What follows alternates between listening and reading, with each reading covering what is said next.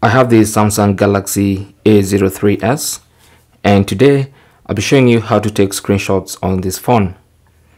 So the screenshot method is the default Android method which is a side button also called the power button and the volume down button. And what you want to do is press the two buttons simultaneously. Just press them once and release right? So power button or side button volume down press and release you should see the screenshot taken. The toolbar will appear at the bottom from where you can actually crop and do a few things you might want to do. So let's do that again. So side button and volume down. Screenshot toolbar at the bottom.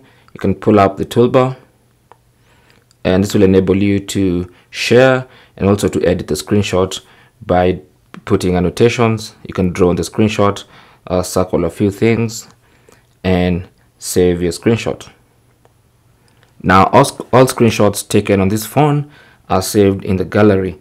So if you go to your gallery there's actually a special album in the album section dedicated for screenshots. But also you can just find it on the main page pictures among other photos you take with this phone. Now in case you're on a scrollable page like for instance if you go to the settings page this is a page you can scroll or if you're on a mobile browser maybe chrome or any other browser that you use and you're reading a web page and you can actually scroll on that web page then that will let you take scrolling screenshots on this galaxy a03s so on a scrollable page let's for instance go to the settings page. If you take a screenshot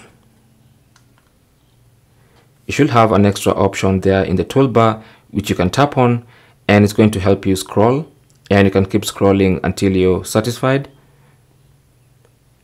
And once you're happy you can tap on the screenshot and that's going to be your scrolling screenshot as you can see. So here's our screenshot.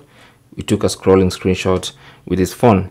Now from here again you can tap on edit and crop the areas you don't want from the scrolling screenshot. You can share you can delete you can do everything you normally do with screenshots. Now one last thing is there are actually a couple of screenshot settings that you can tweak to enable you to get the best out of your screenshots. So if you go to settings and then go to advanced features and then go to screenshots, you can tweak a few things. As you can see, the screenshot toolbar is on and that's why every time you take a screenshot, the toolbar appears at the bottom. If you want, you can turn that off. You can also choose to hide the status and navigation bars. The status bar is this one up here this one is the network the battery percentage that whole bar and also the navigation bars at the bottom. You can choose to hide them from your screenshots. And then also you can choose to automatically delete shared screenshots. So every time you take a screenshot and share it's not going to be saved to your phone. It's actually going to be deleted if you enable that option. And then lastly choose the screenshot format. The default is jpeg but you can also choose to have png format screenshots that's really it. That's how to take screenshots on the Galaxy A03s. Thanks for watching. Leave your comments and questions down below and good luck.